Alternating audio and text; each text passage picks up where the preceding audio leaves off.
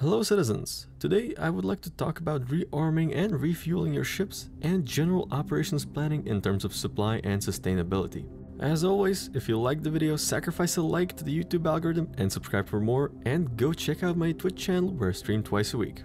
With the Alpha 3.14, we're getting a lot of changes to ship fuel consumption, magazine capacity, and component degradation. And this plays a lot into what I call sustainability gameplay. What I mean by sustainability gameplay is everything from planning your routes and missions while being aware of your ship's limitations in terms of fuel and degradation, as well as rearming, repairing, and refueling your ship and the logistics of getting fuel and spare parts where they are needed. So the first part of what I mentioned is not coming into play quite yet. Even with the changes to fuel capacity and consumption, most ships in-game will get you pretty much anywhere you need to go and will be able to complete play sessions of almost any duration without without refueling. But these recent changes are hinting that in the future some ships will only allow much shorter missions than they do now. What I mean is that smaller ships, especially light fighters, will need to stay closer to spaceports and will have much shorter operational ranges. While large ships, heavy fighters, and some small ships like the 100 series and Avengers will be able to stay out for longer. To some extent this also ties into the ability of a ship to accommodate sleeping and other bodily needs of our characters. I hope that some of this will eventually be reflected into the star map information on our mobiGlas. Moving on, the second thing that comes with this should be the ability to rearm, refuel and repair our ships without having to visit a spaceport. So we already know that we are going to have ships that will be capable of performing these tasks. Starfarer for refueling, Crucible for repair and Vulcan for a little bit of everything.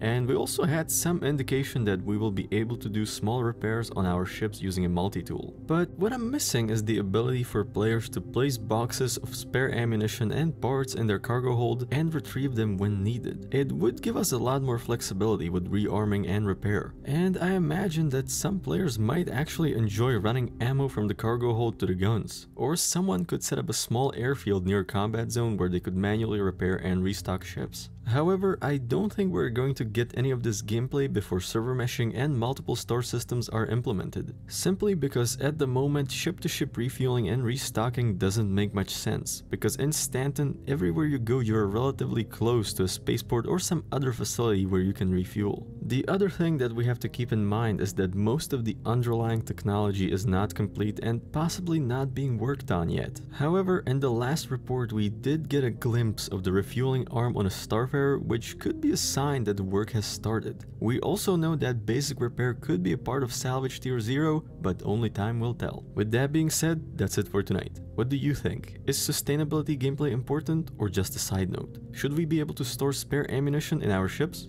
Let me know in the comments, fly safe and I will see you in the verse.